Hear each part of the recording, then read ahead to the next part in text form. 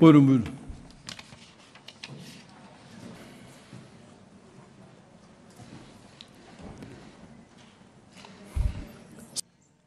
Geride bıraktığımız süre zarfında Finlandiya'nın üçlü muhtıradaki taahhütlerini yerine getirmek için samimi ve somut adımlar attığını gördük.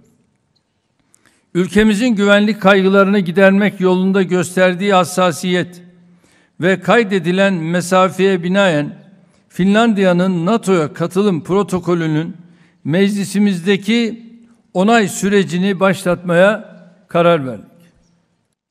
Sayın Cumhurbaşkanı'nın gerçekleştirdiği bu ziyaretin ikili işbirliğimizin güçlendirilmesi, İsveç'le olan görüşmelerimizi ise ittifakın prensipleri ve bizim terörle mücadeledeki yaklaşımlarımız temelinde sürdüreceğiz. Ülkemizin sürecin ilerletilmesi hususundaki ilkelerinin ve iyi niyetinin artık daha net görüldüğü kanaatindeyim. Bu noktada sürecin nasıl ilerleyeceği İsveç'in atacağı somut adımlarla doğrudan bağlantılı olacaktır. Ve gönderdiği yardımlar için bir kez daha teşekkür ediyorum. Then to Finnish uh, NATO membership, uh, it is uh, very good to hear this news. We understood earlier on that uh, you have done your decision and uh, signing it today confirms that uh, the Turkish parliament uh, starts to work with the ratification of, uh, of Finnish membership. It is surely for whole Finland uh, very important. Evet, teşekkür ediyorum. Sağ ol.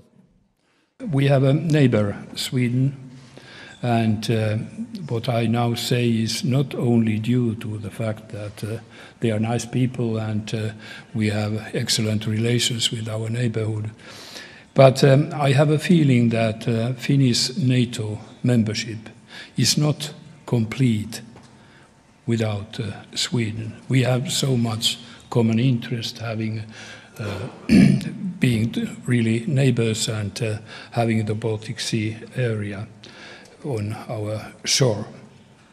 So I would like to see in Vilnius that uh, we will meet uh, the alliance of uh, 32 members, international uh, arena. Because İsveç teröristlere kucak açtı.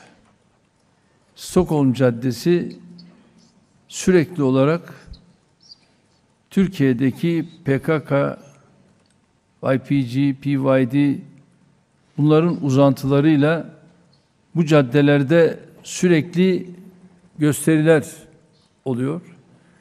Ve Sayın Başbakan'a da bunları söyledik.